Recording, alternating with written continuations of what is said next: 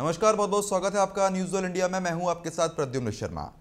तृणमूल कांग्रेस छोड़कर भारतीय जनता पार्टी नेता शुभेंदु अधिकारी ने उनकी विधानसभा सीट नंदीग्राम से चुनाव लड़ने की, पश्चिम बंगाल की मुख्यमंत्री ममता बनर्जी द्वारा दी गई चुनौती को स्वीकार कर लिया है और कहा है कि वह चुनाव में ममता बनर्जी को हराएँगे, वरना राजनीति छोड़ देंगे। और वहीं पश्चिम बंगाल की मुख्यमंत्री ममता बनर्जी ने पूर्वी मैदानपुर के नंदीग्राम सीट से चुनाव लड़ने का ऐलान किया। नंदीग्राम टीएमसी छोड़कर बीजेपी का दामन थामने वाले कद्दावर नेता सुवेंदु अधिकारी का गढ़ है।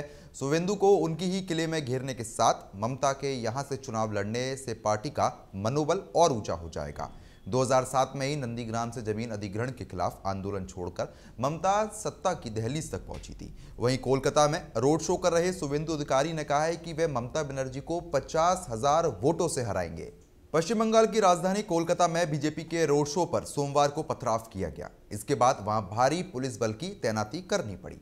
टीएमसी छोड़कर बीजेपी का दामन थामने वाले सुवेंदु अधिकारी ममता के गढ़ दक्षिण कोलकाता में इस रोड शो की अगुवाई कर रहे थे, जबकि बंगाल की मुख्यमंत्री ममता बनर्जी नंदीग्राम में सुवेंदु अधिकारी के गढ़ में रैली कर रही थी। बीजेपी ने इस पथराव के लिए तृणमूल कांग्रेस को जिम्मेदार ठहराया है। इस साल का सबसे बड़ा चुनावी रण बनने जा रहा है। पश्चिम बंगाल को लेकर हर दल तैयारी में जुटा हुआ है। पश्चिम बंगाल विधानसभा चुनाव को लेकर सोमवार को समाजवादी पार्टी ने भी अपने पत्ते खोल दिए हैं।